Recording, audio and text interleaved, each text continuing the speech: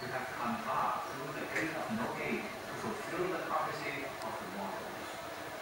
What do you desire, please? I just want to go home. Ah, very well.